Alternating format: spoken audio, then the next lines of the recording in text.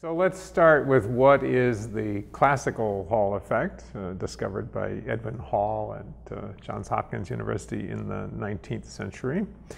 So when you have a, an ordinary piece of metal, let's say a wire or a, a sheet of metal, in order to drive current through it, because it has electrical resistance, if it's not superconducting, you need a, a, push. You need to push the electrons through it with an electric field, and that requires having a voltage drop from one side of the wire to the other.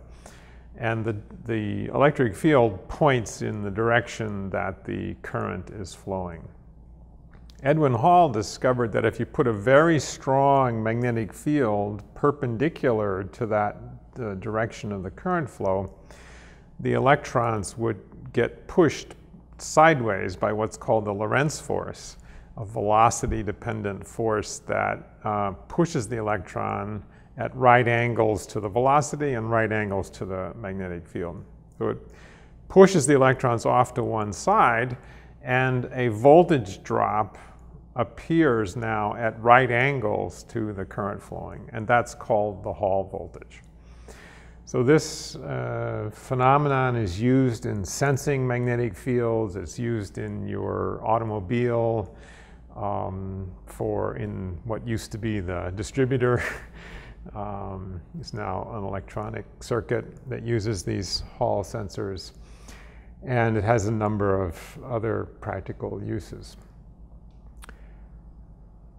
the quantum Hall effect takes place in a very thin layer of electrons, essentially a two-dimensional sheet of electrons or electron gas, in a very strong perpendicular magnetic field when the system is cooled down near absolute zero.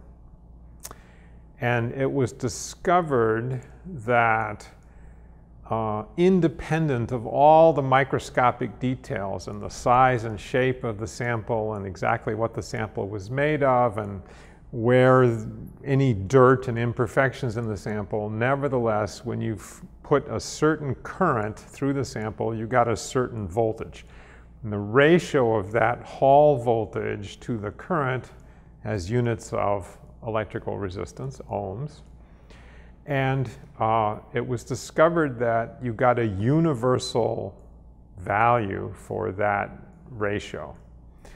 And that resistance of, is called the quantized Hall resistance, discovered by Klaus von Klitzing. And it's uh, 25,812.80 ohms approximately.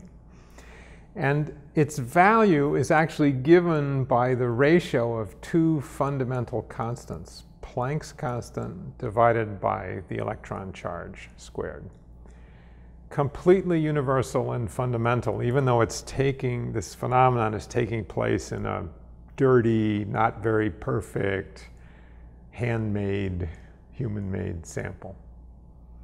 So that was a huge surprise. Then uh, there was a second huge surprise that some of the, uh, it's possible to see fractional quantum numbers in this system and under other special circumstances where the electron interactions are important. So this led to a huge advance in our theoretical understanding of how a large system of interacting electrons can form a, surprisingly subtle and complex quantum ground state.